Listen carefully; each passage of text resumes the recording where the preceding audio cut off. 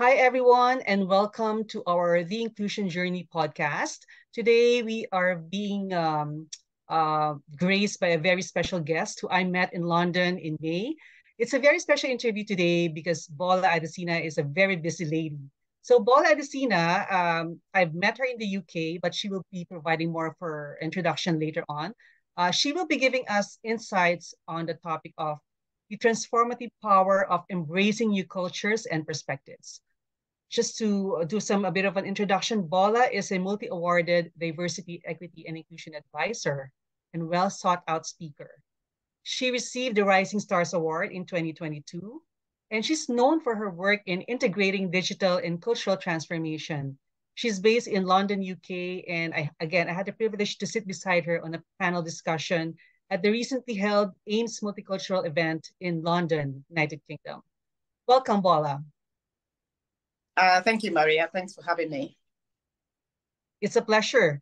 So, Bola, to start with, could you please share with us your personal journey and experience in the field of diversity, equity, and inclusion? I know when we were chatting, um, you know, during our um, event, you mentioned that you know it was that you were in a different field, but you got into the DEI field. So, what led you to this work, and what inspired you to become a DEI leader? So, maybe just fast track on your career journey and how uh, it led you into this particular work that you do. Uh, and, and thank you. And that's a great question, uh, Maria. I, know you've done uh, a bit of an introduction. So my background is uh, technology. I'm a technologist, um, but as well as um, worked in HR um, as global DEI partner uh, for Elgin, and, and then future of work uh, for L&G, actually looking at bringing an integrated workplace management system um, for enhanced um, employee experience. And uh, but DEI is close to my heart. is is something that I've been doing for years, and I, I think it dates back to many years ago. I think initially uh, gender diversity, because obviously I'm uh, as a woman in technology. There's not many of us um, around, um, and I, I, worked at UBS. Um, uh, investment bank um, for a few years, and before that, I worked in Aviva um, in very technical roles. Um, and then I joined Elgin as well um, as a middleware expert um, before uh, cloud technology. And there weren't a lot of women um, within tech at the time. so we set up a Women in Technology Forum, which was C-suite led. And I had some ideas because I knew what challenges and I've been speaking to uh, other women in IT at the time um, so the interest around diversity actually grew from there. So from gender, I started asking the question around ethnicity. And I was asked whether I wanted to set up something uh, within the organization uh, with a, a, a, chap called Justin, who was within the business um, at the time. I was really driving for diversity on the investment floor at the same time. Um, so created Culture Club um, within the company. And, and to your question, what's inspired me? So for me, uh, is the uh, talk, uh, especially around the industry at the time, around gender diversity and the, the traction that was gaining at the time. And then I felt, I started talking about asking the question around the ethnicity. Um, and then we started doing something about it because basically we just said, okay, do you, you have the ideas? Do you want to set something up? And then we set up a ethnicity work stream as a result. Um, and I think another reason is a family one, um, because I looked at my kids at the time and I thought, I don't want them years down the line looking me in the eye when I'm old and asking me, Mom, what did you do for our generation? Um, at least now they can go on LinkedIn, on social media, and see all the great work, right? Um, I'm doing with others to drive a lot of the changes that we're driving, not just within the organization, but um, the industry as well, and consequently society. Um, so my drive, so those are my drivers really, the, the, fact that the future generation, I want to leave something for them as part of that ESG thing, uh, sustainability, um, and also just to change society and change people's views and perceptions on um, different people or people from marginalized groups. Yeah. And, you know, uh, those are great uh, I think purpose, the, the main purpose of you doing this work really transform into a more higher purpose, which is more on your legacy. I like mm. that. I like that. Um, and uh, you know, I can share that as well. Maybe because you know we we are you know women of color. We have similar struggles and challenges that led us to this kind of work. So did you do uh more of uh, so did you add more to your education when it comes to DEI or it's just really based on live experiences, uh, experiences in tech, HR. So, or do you have additional? Uh, you mentioned something about gender uh, diversity. Yeah, yeah. No, I, I didn't. So um, obviously I started with uh, gender diversity. Uh, there's uh, initiative called the Diversity Project, which uh, looks at uh, diversity across board, not just gender is expanded, but it, it started with gender um, in, in our industry, asset management and pensions and savings, and it's grown into a big, massive thing, right? And I started volunteering on that and learning through education and, and so on and so forth. And this was at, at a time when I was studying for my MBA at Warwick. Um, so mm. there was a lot of learnings from the MBA around organizational behavior, around uh, leadership and the art of judgment, and, and strategy and practice, and, and so on and so forth. So I had board governance as well. So I sat on the board of a charity, UK charity at the time. So I was able to kind of like bridge that gap and almost learn firsthand the impact that organizations and firms can have on society. Uh, and for me, using those learnings and those insights, and just, I think naturally, I'm just inclusive anyway, but working with other people that had the passion um, internally within the firm actually grew me as a person. And having um, the support of, of C-suite at the time uh, was really important as well. So yes, a lot of research, a lot of um, insights gleaned, a lot of workshops, a lot of um, uh, surveys uh, completed and just seeing the feedback, seeing the findings, and just picking out, you know, salient points that we could maybe try within the organization as well, uh, which has worked really well um, for us. That's that's great to know, and um, because if if nobody will believe in you to um, implement what you've learned, I don't think whatever education you receive will not be of value. Uh, Absolutely. I, I, yeah, I appreciate the the fact that you had a very supportive um, C-suite leaders because I think that's very important part of the equation when it comes to DEI, the support of the mm-hmm. leaders. Yeah, and so um, can you share? So going back to our topic on the uh, transformation by embracing new cultures and perspectives, as as we all know, UK, the UK is also a very multicultural, diverse country now. So can you share with us some specific examples or success stories of organizations that you work with uh, that have undergone transformation just by embracing new cultures and perspectives? Yeah, um, again, a, a, very good question. Um, and, and obviously, what other uh, company to use as a case study, and that the company that I work for um, so Elgin, um, as you know, uh, is the investment arm of L&G, which is General, which is a UK, um, a predominantly UK company, although Elgin has expanded into other you know, geographical um, areas globally. Uh, but it's UK led, it's UK run, right? Mm-hmm. Uh, so has traditional UK values uh, within the company. And going back to 2017, 2018, um, was it a diverse company? Yes. But was it, uh, were some ethnicities underrepresented? Absolutely. Uh, were women underrepresented? Absolutely. There's still more that we can do, right? Even to today. And so it was a very good test bed for diversity and inclusion and, and how to promote it and how to make things work. And I actually saw it firsthand how when the C-suite are bought in and when the organization itself, and by the organization, I mean from the top, right, is engaged and actually want change, then that change will happen. And that was, and I was fortunate, very fortunate to be in a company where I've experienced that. And that was what happened back in 2018. Um, I mean, at the time when we set up the ethnicity work stream, it was we were looking at underrepresentation, right? Mainly then.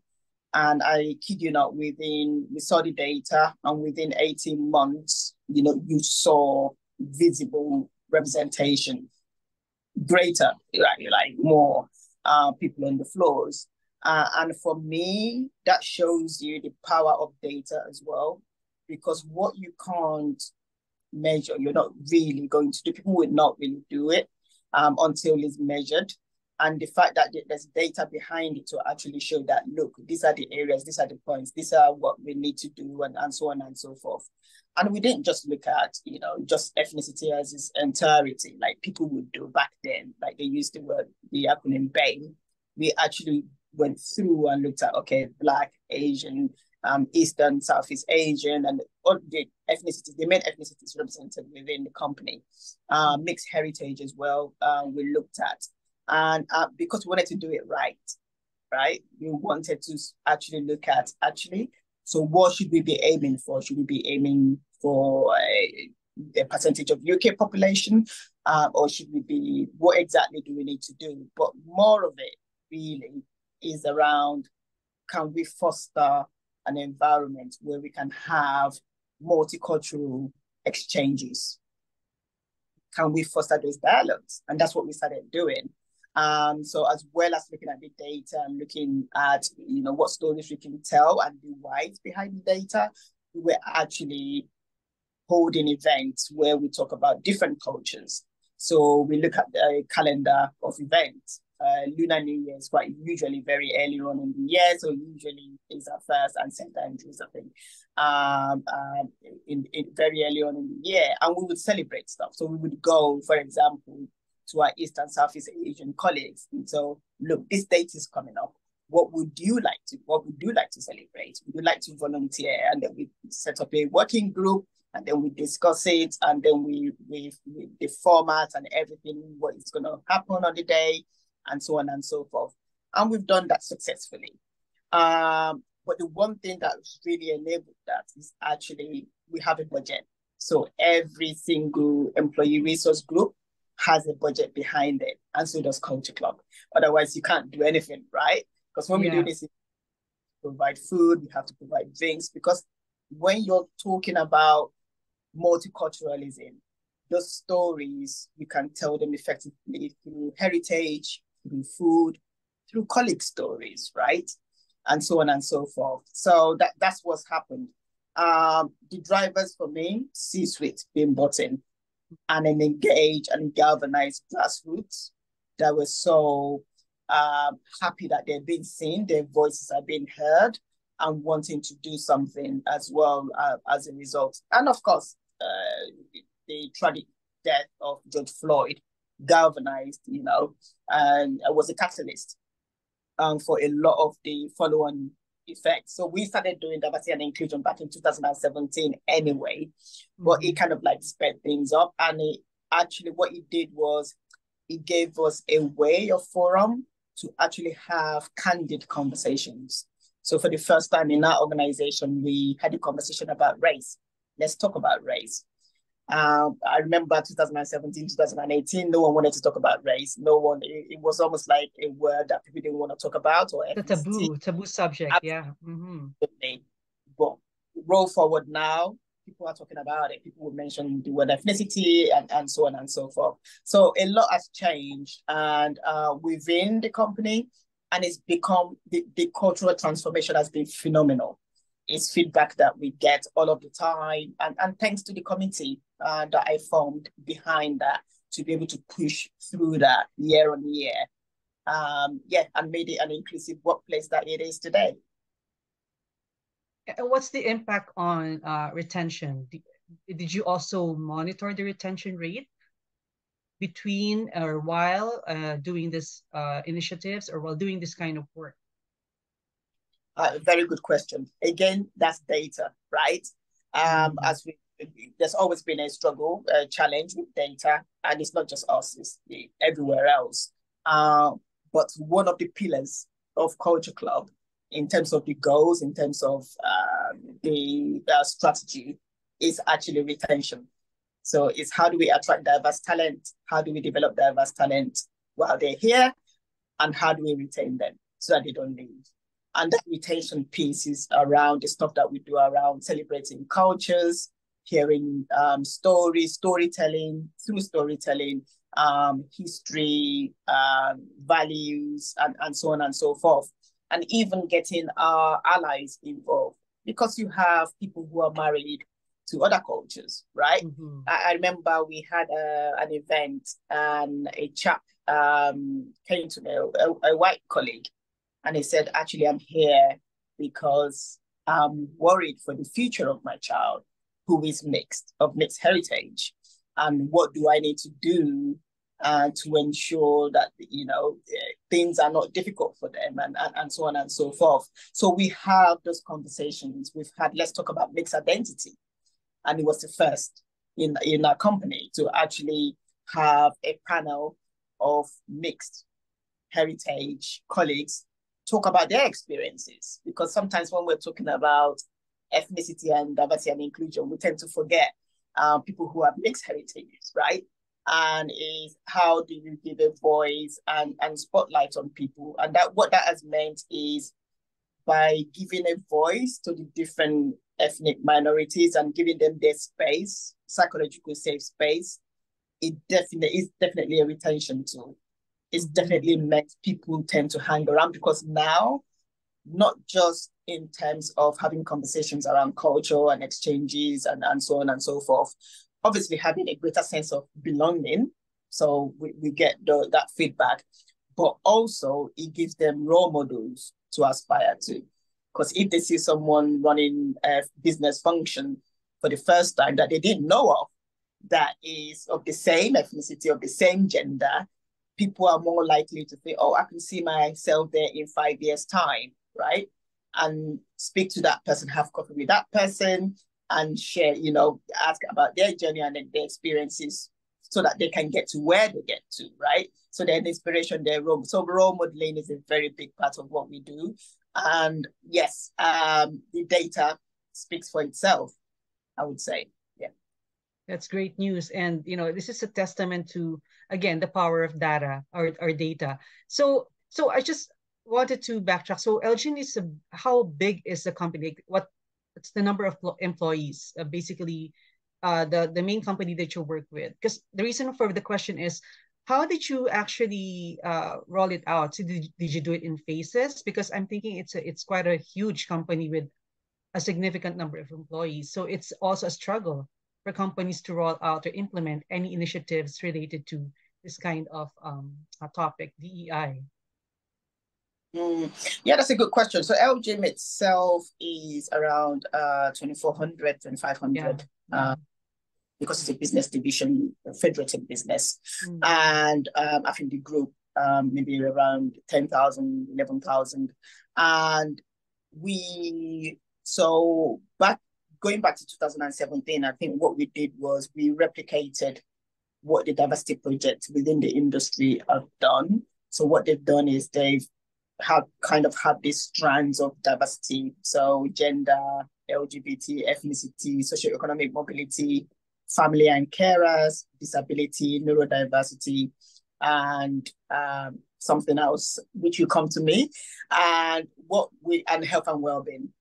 And so for each of those, there's a member of C-suite who's the exec sponsor. So he's ultimately accountable, right, for the success of the work stream. And then you have the coaches who are running the work streams. And then, for example, with Culture Club, we've got the three main strands. So how we attract talent, which is for early careers and, and, and so on and so forth. And then how we develop people in terms of mentoring, sponsorships, uh, looking at the data in terms of promotion and so on and so forth. And how we retain people around the stuff that we do in terms of culture, in terms of um, spotlighting people giving them a platform um, to actually shine, right? Because mm-hmm. sometimes visibility is key, and is sometimes that's what's missing, right? So we do all of that, and I think um, a lot of the, the the strategy around that and making sure that huge thing. So it started out as a small thing, but it's become a huge thing over the years, right?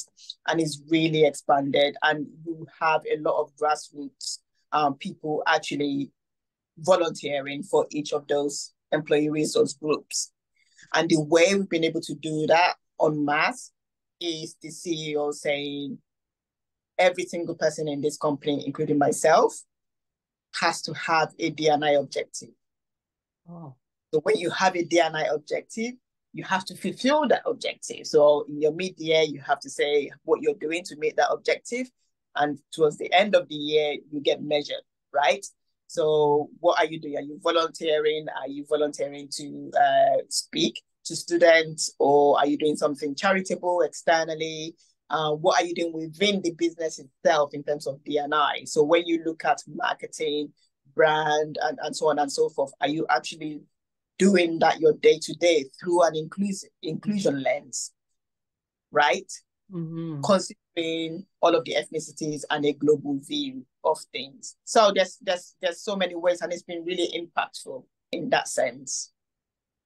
So yeah, it's just a simple way of uh, you saying to us that that's how you embed DEI uh, in terms of the day-to-day lives of the people. And it also entails accountability, right? So you mentioned at the end of the year, now my mm. supervisor is going to be asking me, what did you do in terms of, you know, this objective related to DEI? That's very good. That's very good example. Thank you for sharing that. Now, um, I'm sure you have encountered a lot of organizations too who are, you know, I, I know you're very busy in terms of speaking. Uh, you've been meeting some organiza- organizations who are struggling as well in terms of how they move forward with their diversity, equity, and inclusion work. Um, mm-hmm. Based on your experience, what are the common obstacles or um, obstacles that leads to challenges that mm. organizations face when it comes to really uh, moving forward with uh, DEI work? AI. Um, uh, yes, I so through my work and and through obviously people, a lot of people know about me on LinkedIn and they will reach out um for help. Um, and, and apart from that, I actually offer uh best practice. So I created a network of um because I was getting a lot of uh, requests and um, for help. Um, so people who have been made um, for example, coaches of uh, work streams, for example, ethnicity going, I don't know what to do. I don't know where to turn. What do I need to do? How do I need to make sure this is effective? And, and so on and so forth. And having a lot of phone calls. And I thought, maybe I should, you know, group these people together and, you know, start doing stuff with them. But then again, I've been able to do that as well through um, certain networks. Um, like there's the Black Women in Asset Management um, uh, network um, that actually has a lot of black women in it, lawyers and you know, um, asset managers and, and and so on and so forth. And what we actually do is look for a way that we can make impact, right? Some of the companies, when they reach out to me, I remember a company that was, uh, I think Chinese owned, UK led, uh, digital agency um, in the UK. And I think it was around the George Floyd thing. And someone reached out to me and said, look, we need help. And so I, I went along and I said, okay, so what exactly do you need? And I'm like, we don't really know much about this. How do we start? How can we? But of course, because we've had years of experience of DNI, I was able to advise and able to impact. And there was a company where they didn't even know where to start to begin with. And by the end of it, by the end of the year, it was formal. They had they had a former DNI forum. They had people who owned um, their own objectives and priorities, and they were able to link those to their business strategy. Because otherwise, if you don't do that, then it doesn't make any sense to anyone, especially C-suite. And then they had a dedicated sponsor who was at the meeting like almost every other week, right? Mm-hmm. Just to make sure that the, everything is aligned and everything is going in, in, in the right place. And I, I remember they'll ask me oh, also, what, what what sort of events do you do? What how do you choose your date? And we just said, oh, we just asked people what dates they wanted to celebrate. And then people came back, oh, we're gonna do Lunar New Year, we're gonna do this year, we're gonna do this, we're gonna do that, and we just picked the main ones, right? So they started slowly celebrating some of those stuff. But the good thing about the company was they actually came and said, actually, whilst we're doing this, would want our clients to come on board with us to know that we're this is the reason why we're doing this and be able so the insight that they were getting from me and the best practice that I've been able to build and the structure, they were passing that down through their supply chain, which is mm. powerful, right? And and and for me, is doing more of that and doing a lot of that and just helping organizations who might be, I don't know, struggling or don't know which direction to turn when it comes to to to DNI. Mm-hmm. Yeah, and you know, this is um one of the first time that you know from someone who works in DI mentioned this, and I also agree with that. It's tapping into the whole ecosystem. That's what I heard from you when it comes to uh, making sure that it goes down even to the supplier level, right? Um, yeah, absolutely. Uh, and and and I think it also is one way for for organizations to help in terms of um, having that equitable practice. Like, how do you provide support or how do you even support or like support the small minority owned business lead uh, business. owner right? So I, I, like that. I like that um uh, idea. Thanks for sharing that. Yeah. Yeah. Might not have the big budgets to pay um for big events and so on and so forth but there are other ways there are other innovative ways where they can still do those things with the right support uh, but for most of them it's just giving them the tools and then they can run away. So nothing was prescriptive for me. It was just, okay, these are the tools. And it just went away and said, okay, we're going to take it in this direction.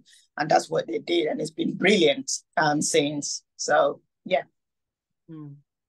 Have you encountered um, some struggles or obstacles from C-suites that you've spoken with that you notice that there needs to be some correction in terms of the bias you know, um, all of us have biases, right? But I, I believe too, in terms of the work that we do, we have to mm-hmm. uncover that bias, unpack that bias to be able to have a clear understanding of what our role should be and what mm-hmm. how should we can support other people who is experiencing um, challenges in terms of you know being um, included or having being heard.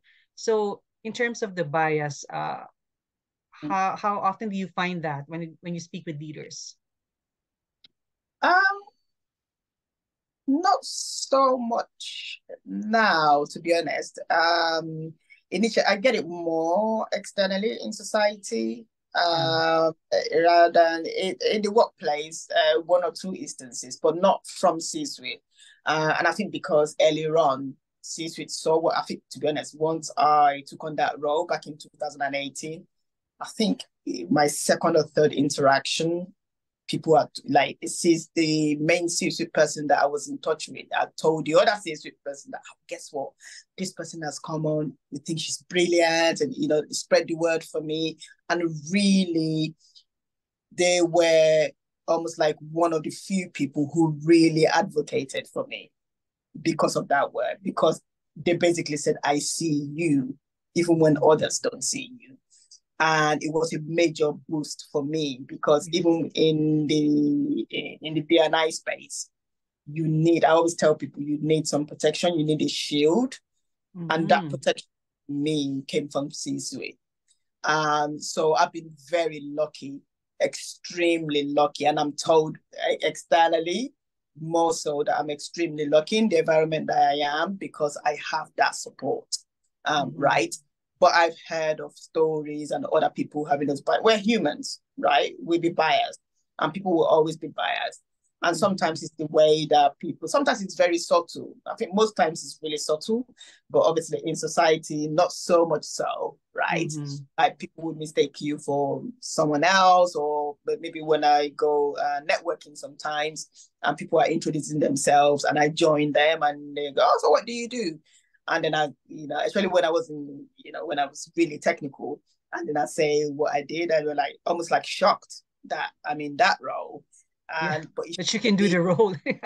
absolutely. I don't know what expect me, you know, that kind of thing. But I think it's because we there's more work for us to do to normalize some of these things so mm. that people can normalize saying uh, as you say, women of color in certain roles because people are not used to it. So the yes. more we speak out, the more we're seen, the more we're visible. And it's one of the I've never set out to be visible. It was it just wasn't me. Mm-hmm. And then someone said, look, you've been a role model for a lot of people. So you need to have your voice, you need to be heard, you need to be out there. And that's why I do the stuff that I do, like the speaking opportunities and so on and so forth, right? Um, so that you never know there's a woman out there. Because I get that um, a lot. I get a lot of feedback from a lot of people saying, no, you are the one person that we have that can speak, that has the voice. You carry our voices, right? Mm-hmm, mm-hmm. Um, and it's, so it's very important not to be, there will always be bias because we're always biased, right, as humans, um, even on us. But for me, I'm aware of my privilege. So even that, so within the organization, with the C-suite, yeah, having mm-hmm. support it's a privilege. That's right. Yeah. Yeah. And, so, and you're I, using your privilege to be a voice to other people too. Oh, good. Yeah. Absolutely. And to influence certain decisions that we make at a strategic level as well. Uh, so it's been a privilege uh, for me, really. Beautiful, beautiful um, insights, Bola. Um, so uh, for our listeners who want to make really a positive change in their organizations or even at their own personal lives, I know you mentioned some of the uh, insights too based on your experience. Uh, can you share a bit more practical steps or strategies that we can implement to really understand and embrace new cultures that is around us? And again gain new insights and perspectives by embracing those new cultures. Yeah. Uh, and i think i'll do it at uh, firm level at an organizational level and at a personal level. I think at the firm level I think when we're talking about D and or DEI, we have to ensure that it fits in or it aligns to business priorities. Uh, so what is the business strategy? Is the business strategy uh, globalization? Is it expansion within the UK and so on and so forth? What does that mean? But what does that mean for not just the organization, but its stakeholders, external stakeholders and internal stakeholders, your people and, and so on and so forth and obviously getting people, stakeholders on board.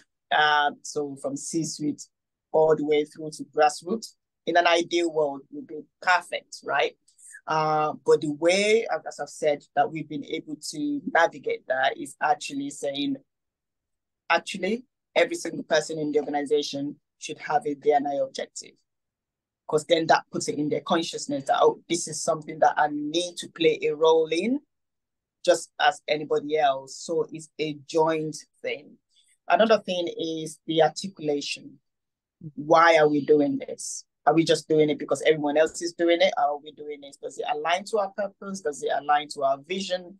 What does it mean um, for us? What should it mean for our people? What do they want it to mean? And being able to tie that back and ensure that each time, because you're going to have initiatives and interventions at the back of the data that you're looking at.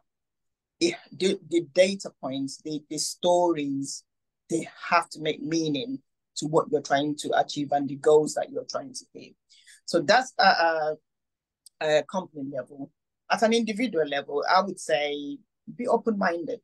Be open-minded to other cultures. Be to be honest, I, I am fascinated by culture. I'm fascinated fascinated by difference. And I think that's a natural thing for me. So I've only just realized in a few years that not everyone is like that. So, but some people just want to be in their own space, with their own people, and so on and so forth. It's okay, but that's not the way the world, the workplace is, mm-hmm. right? When you go to work, you work with different things, you're working in a diverse team. How would you navigate uh, people? You can talk about the weekend have people create a, if you're a line manager, create a forum, small forum, where people can share about what they did openly, create a psychological space where they feel mm. safe to share whatever it is, no matter how um, odd it seems. Give them a space to share and, and learn from others. It's not every time that you want to go to the pub. So everything you want to do when someone is leaving, you want to go for alcohol drinks you could have Muslims within your team that don't, wouldn't want to go to the pub. So what's the alternative? You want to have a lunchtime thing um, and just go for lunch. And then people who want to go for drinks in the evening can go for drinks. Um, so that, that way you're being inclusive, right? There's a lot of talk around managing diverse teams. And I think these are some of the pointers that people can do within the team. Apart from being open-minded, you can, you know, being open-minded, you can actually read books, recommended books, films, and so on and so forth. I know someone who is of South Asian heritage. And I remember when we had a Let's Talk About Race event during the George Floyd thing, it was a candid conversation. People talked about race in the workplace, in society, and meaningful actions that we can take. And we shared resources. People will come back to me today and go, you know, that film that you recommended on Netflix or someone or some book that someone recommended. This is what it means to me. This is what it meant to my daughter. I read it with my mm. daughter. I read it with my son. Some allies were recommending books for us. Right. That's allyship as well. Mm-hmm. So, as an ally, what more can you do? As a leader, how are you changing the organization? How are you impacting ordinary lives within the organization? What's your purpose? What what uh, you mentioned legacy earlier. What legacy would you want to leave when you leave this world or when you leave the company? What does that mm-hmm. look like? And there's so many ways that we can do this. Uh, we know representation is a problem. If you're on the board or in the room that you're in when you're making strategic decisions, just look around for a minute. Do you have the representation? The representation, not just in terms of skin color, to be honest, mm-hmm. diverse thoughts, cognitive yeah. Mm-hmm. Is it there? Are you being challenged? Or is everyone saying, yeah, we go with that? Mm-hmm. When everyone is saying that, you should be going, uh, yeah, I'm a bit worried because you're mm-hmm. all agreeing, you know, and that kind of a thing. And um, yeah, there's a lot around that and just giving people the sense of belonging as, as an organization. Celebrate different things that people, I mean, we do Burns night where we do whiskey tasting, we get a piper in, and we do it properly. We taste haggis. And these are people who have never, you'd have people there that have never tasted food from other cultures. Never, ever. And for the first time, they're trying haggis or jollof rice or, you know, dumplings or, you know, or something else. That's what it means, you know, to be integrated, to to to to encourage uh, mm-hmm. multiculturalism, and hopefully you start seeing it in performance, improved performance um, going forward for the company, not just for the company, but for society, because you're contributing to society. Because when those colleagues, when they go back home, what are they going to be talking about? that event, that thing, that thing that they ate, that was nice, that was different. That's what they're going to be talking about. And or the story that they heard, right, from a colleague who is very unique, yeah, different. Yeah. Absolutely and their families will be doing the same thing. And then the next thing, they'll be booking to go to restaurants that they've never been to before and trying foods they've never tried before. And that's how, you know, this multiculturalism, you start to see the positive impact through society because it reduces bias mm-hmm. ultimately. Because all of a sudden you're looking at people and you're not looking through the stereotypical lens you're looking at them for, the, for who they are through their culture, through their behaviors, through their values, and and and and, and other things as well. Yeah, great, great. So just one last question um, before I wrap up, and I know uh, maybe I didn't mention this to you, but because you mentioned something about organization aligning with their business strategy, business goals, right? Uh, I have encountered some questions from leaders who are kind of like not really sure uh, the relationship of sustainability and DEI. And so I had to explain to them why you should integrate DEI and sustainability in your business strategy. But what are your thoughts on that? Why should they incorporate DEI and sustainability in their business strategy? What's the relation? Uh, it's a very good question, and it's something that I've been um, I've, I've been working on myself um, over a few years because I, I work for LGIM. LGIM is big on ESG, as you know. Um, we've got a separate function. It looks at responsibly investing, and we've got a stewardship thing, uh, team. We've got active ownership where we actually hold other companies accountable on board diversity, for instance. So that's mm-hmm. that's one way. So we do it through that. So that's how that's how we hold ourselves to account. So we're going out to people and going, okay, this is part of our purpose. We want to create um, a purpose through responsible investing for our people. What does that mean for us? So we need we need to be actionable. We need to be taking action in, in, in, in, things. We look at climate and, and so on and so forth as well, and the race to net zero and, and so on and so forth. But in terms of DEI specifically, I would say is that S of ESG, because mm. that's the social bit, right? Mm-hmm. I think that's mm. where D and D&I sits in perfectly in that. So when you're doing D&I, you're not doing it as a separate thing on the side you're actually integrating it into your business strategy, whatever that business strategy. Right. So if the company is already thinking of talking about sustainability, for instance, what is sustainability? It's actually living the world in a way where future generations it won't be depleting, we won't deplete resources for future generations, right? Mm-hmm, mm-hmm. That's what AI is doing. The stuff that I'm doing in trying to ensure that our workplace is inclusive enough so that future generation, future graduates coming in, we find it conducive and we stay till they make to it to work, the top. Yeah. Right, exactly. So you're sustaining. Looking at the systemic or structural barriers along the way and working with others to remove those, right? So that that can happen organically. And I think that's a way that companies can do that. And there's a very strong link between the social, the S, and the D&I stuff that we do. Right? Because you're not just doing it for, it's not like a, a ethnic minority type thing. Is uh, disability, is uh, marginalized groups, right? Right. How are you giving them a voice? How are you giving them a sense of belonging? And by doing that, it's a social purpose. It's like this is who we are as a brand. That's what it's saying. That's a story that it's telling. And there a lot of research out there that it actually leads to having diverse teams and diverse groups and cognitive diversity within the organization. Companies that actually have that, they grow faster and they uh, they're more profitable as well. So there's a lot of research behind it. So mm-hmm. there's no reason why you can't do it. And if companies are going, oh, actually we can do a lot of stuff, charitable stuff externally, that's part of DEI, right?